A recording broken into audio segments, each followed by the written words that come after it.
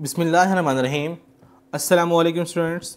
बेटा, आज का हमारा लेक्चर है biology class ten, chapter ten gaseous exchange. और इस चैप्टर से आज हमारा थर्ड लेक्चर है। बेटा, इस लेक्चर के अंदर हम मेनली बात करेंगे लंग्स के ऊपर और मैकेनिज़्म ऑफ़ ब्रीदिंग के ऊपर। लेकिन इन दोनों के ऊपर बात करने से पहले हम बात करेंगे थोरेसिक कैविटी के ऊपर। बिकॉज़ थोरेसिक कैविटी ही हमारी बॉडी का वो हिस्सा है जहाँ पर लंग्स भी मौजूद हैं और ब्रीदिंग का मैकेनिज़्म भी होता है। जब हम बात करते हैं थोरेसिक कैविटी की स्ट्रक्चर की then we come to now that it has a pair of lungs इसमें दो लंग्स होती हैं बिकॉज़ एक पेयर में हमारे पास दो लंग्स होती हैं।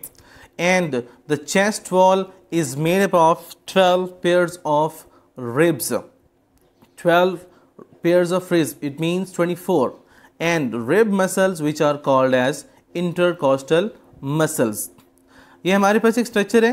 इनके अंदर जो डार्क लाइंस हैं, ये हैं हमारे पास इंटरकॉस्ट ये हमारे पास हैं रिब्स और इन दोनों के दरमियान पाए जाने वाले रेड एरिया हमारे पास हैं इंटरकॉस्टल मसल्स इंटरकॉस्टल मसल ही रिब्स को सपोर्ट करते हैं। अब हम बात करते हैं थ्रेसिक कैविटी की नेक्स्ट पार्ट की, जो है हमारे पास डायाफ्राम डायाफ्राम एक मस्कुलर स्ट्रक्चर है जो लंग्स के बिल्कुल नीचे की तरफ़ होता है and it creates a vacuum effect that pulls air into the lungs and it relaxes when air is pulled out of the lungs है we have a structure in which the pink area is a diaphragm it supports the mechanism of breathing अब हम बात करते हैं lungs के difference की because lungs ही breathing का मेन हिस्सा है या रेस्पिरेटरी सिस्टम का मेन हिस्सा है।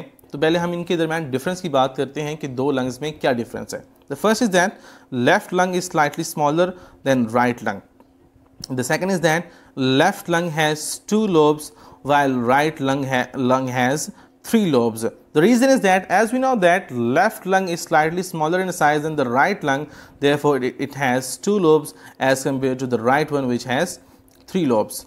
अब हम बात करते हैं इनकी दो, इन दोनों की रिजेंबलेंस की कि दोनों लंग्स में क्या रिजेंबलेंस है both of these are spongy and elastic both of these have blood vessels which are pulmonary arteries and veins ये इन दोनों में कॉमन है। The third one is that each lung is enclose by two membranes outer and inner pleural membrane ये भी इन दोनों में common है। ये हमारे पास लंग्स का स्ट्रक्चर है। और आप देख सकते हैं कि स्ट्रक्चर को दो हार्ड लाइंस ने कवर किया है, जो हमारे पास इन दोनों की प्लूरल मेम्ब्रेन है। और इस दरमियान है हमारे पास येलो लिक्विड जो लिब्रिकेटिंग लिक्विड है अगर हमारे चेस्ट के ऊपर कोई प्रेशर आता भी है तो ये लिब्रिकेटिंग लिक्विड लंग्स को उस प्रेशर से बचाता है। अब हम बात करते हैं ब्रीदिंग के मैकेनिज्म के ऊपर डिटेल में। लेकिन इसको इसके ऊपर बात करने से पहले हम बात करेंगे ब्रीदिंग की ताकि हमें पता चले कि ब्रीदिंग क्या है। The physical movements associated with the gaseous exchange are called breathing and it, had, it has two phases. The first one is and the second one is that exhalation अब हम इन्हेलेशन या inspiration के ऊपर detail में बात करते हैं। During inspiration the rib muscles contract and ribs are raised inspiration के दौरान रिब मसल्स कंट्रैक्ट करते हैं और इसी के साथ रिब्स ऊपर की तरफ़ चलते हैं बिकॉज़ वो उसको ऊपर तरफ़ खींचते हैं और डायाफ्राम कॉन्ट्रैक्ट करता है। इन दोनों मूवमेंट्स की वजह से थोरेसिक कैविटी का एरिया बढ़ जाता है।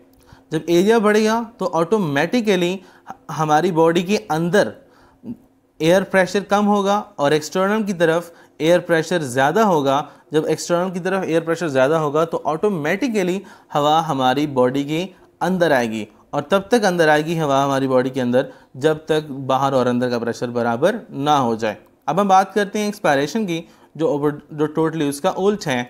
इसके दौरान हमारे रिब्स रिलैक्स करेंगे मसल्स रिब्स मसल्स भी रिलैक्स करेंगे और रिब्स भी रिलैक्स करेंगे, जिसकी वजह से ऑटोमेटिकली थोरेसिक कैविटी का वॉल्यूम कम हो जाएगा। वॉल्यूम कम होने की वजह से हवा ऑटोमेटिकली हमारी बॉडी से बाहर की तरफ़ जाएगी और डायफ्रैम भी अपनी नॉर्मल पोजीशन में आ जाएगा। लेकिन याद रखिएगा कि ओवरऑल ब्रीदिंग डिपेंड करती है हमारी एक्टिविटी के ऊपर। अगर हम normal condition for example rest में हैं तो हम almost 16 to 20 times breathe out करते हैं मतलब इंस्पायर और एक्सेल करते हैं। और याद रखिएगा कि ब्रीदिंग को हमारी ब्रेन में रेस्पिरेटरी सिस्टम कंट्रोल करता है और ओवरऑल ब्रीदिंग का रेट डिपेंड करता है कार्बन डाइऑक्साइड के हमारी ब्लड के अंदर रेशो के ऊपर। अगर कार्बन डाइऑक्साइड ज़्यादा होगी तो ऑटोमेटिकली हमारी ब्रीदिंग भी ज़्यादा होगी। अगर कार्बन डाइऑक्साइड कम तो ब्रीदिंग भी कम। अभी हमारे पास स्ट्रक्चर है।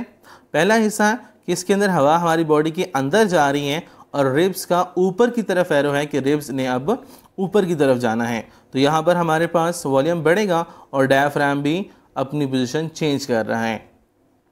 इसके अपोजिट हमारे पास है एक्जलेशन हवा बाहर जा रही है रिब्स नीचे की तरफ़ जा रहे हैं तो ऑटोमेटिकली डायाफ्राम भी अपनी स्ट्रक्चर चेंज करेगा। बेटा, ये लेक्चर आपकी बुक के टॉपिक 10.2.2 से था, जिसके अंदर हमने लंग्स और ब्रीदिंग के मैकेनिज्म को डिटेल में स्टडी किया है। उम्मीद है कि आपको उसकी समझ आ गई होगी। बेटा, अब हम इस लेक्चर के बारे में या इस टॉपिक के ऊपर दोबारा एक नए अंदाज में बात करते हैं। सबसे पहले हम बात करेंगे डायफ्राम के ऊपर। याद रखिएगा कि जब हम बात करते हैं मैकेनिज्म ऑफ़ ब्रीदिंग की तो डायफ्राम इसमें मोस्ट इम्पोर्टेंट स्ट्रक्चर है और ये ऑलमोस्ट डोम शेप्ड होता है। जब हम इनहेल करते हैं तो ये अपवर्ड कॉन्ट्रैक्ट करता है। कॉन्ट्रैक्टिंग के नतीजे में मसल्स भी कॉन्ट्रैक्ट करते हैं। और आप देख सकते हैं कि जब हमारे पास डायफ्राम कॉन्ट्रैक्ट करेगा मसल्स ऊपर की तरफ़ आ रहे हैं मसल की भी हमारा हमारे पास एक ख़ास हरकत आ रही है।